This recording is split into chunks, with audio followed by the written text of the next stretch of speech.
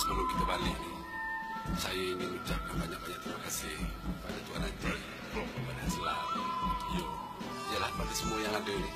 Kerana kita dapat sama-sama kumpul ramai-ramai.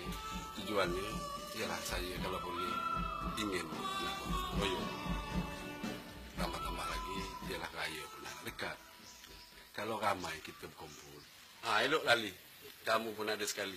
Setidak-tidaknya, kamu dengan Aslam, dengan Jeffrey ni, boleh mewakili anak-anak muda kampung kita. Yalah YB kita pun nak datang untuk lawat kawasan. Bulan puasa ni, yalah pada kita duduk rumah, eloklah kita buat kerja sikit. Setidak-tidaknya, yalah, badan tu berpeluh, sehat juga kita kan. Yalah, bukan bersabar menahan lapar saja. Kan? Yalah, sabar daripada tingkah laku kita, perbuatan, maklum je lah kan. Takkanlah bulan-bulan puasa ni pula kita tak boleh nak buat kerja kan. Sedangkan Nabi bulan puasa ni pun pergi berperang. Menahan lapar lagi. Dengan panas lagi. Kan? Jadi takkanlah bulan-bulan puasa ni kita tak boleh sama-sama gotong royong. Untuk bersihkan kampung kita juga. Bukan kampung orang lain.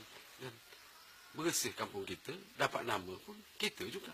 Jadi sebab itulah tujuan ini saya nak kumpulkan orang-orang kampung semua. Kalau dapat kita buat gotong royong sama-sama. Lagipun kita nak menyambut raya kan? Ha. jangan pula kamu ni bulan-bulan puasa ni pula jadi alasan pula kamu untuk tidak buat kerja. Ha. lain datang kamu dengan haslam pula yang hilang. Saya tahu puasa tu letih. Saya ni pun dilantik jadi ketua kampung pun disebabkan kerana kesabaran jadi banyak kerja-kerja amal yang saya buat. Jadi sebab itulah tujuan